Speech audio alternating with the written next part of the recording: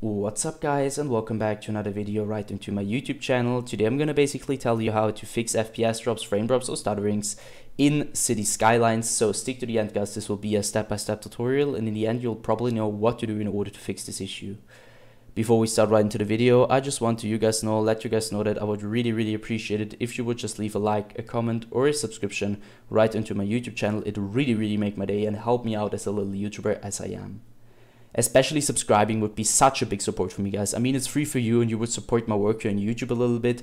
I'm gonna be really be thankful for that and I'm gonna thank you for that. So anyways, I would just say, let's get right started. So as the first step, I would recommend doing for everybody, uh, I would recommend you to restart or start your uh, task manager by just using the shortcut or navigating down to your taskbar, right clicking it and opening up your task manager.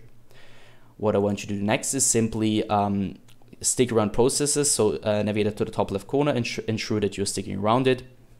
Uh, once you ensure it, I want you to click onto CPU. And uh, what I want you to do is simple, just ending every single task, which has nothing to do with Windows, obviously, and has is having too much CPU usage at the moment.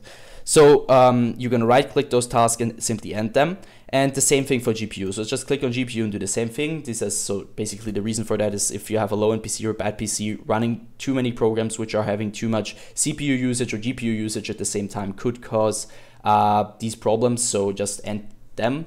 And once you ended them, I want you to simply end also the task manager. And the next next step is going to be uh, navigate to the left corner of the screen, so the bottom left corner. Click on this window symbol and uh, click on the settings symbol and navigate right onto gaming where I want you to stick around Xbox Game Bar and obviously turn it off because the Xbox Game Bar doesn't really come with any benefits besides impacting your performance really bad and it could cause free uh, it could cause FPS drops stuttering so just turn this off. It won't really help you or just having any benefits just turn it off.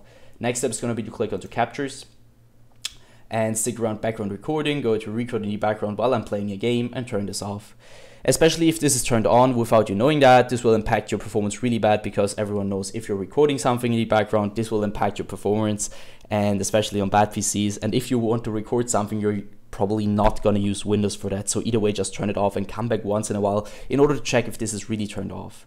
As the next step I want you to click into game mode. And I can really tell you now to turn it off or on. It just depends on your system specifically to just try it out and stick with the setting which is working better so once you're finished here, I want you to go back once to the main menu of the settings and click onto update and security. Well, I want you to stick around Windows Update. Uh, what I want you to do is going to sound a little basic guys, but just trust me, updating all of your drivers will help you a lot with like 99% of your technical issues which you're currently having. So just download the latest version of Windows just to ensure that you're providing the best possible performance for your PC and it will help you a lot. So just once you downloaded it, I want you to end this task and do the same thing for your graphics card. So if you have uh, NVIDIA, if you have AMD, doesn't really matter. Just go to the application or the browser and download the latest version just to ensure that you're providing the best possible performance in general for your PC.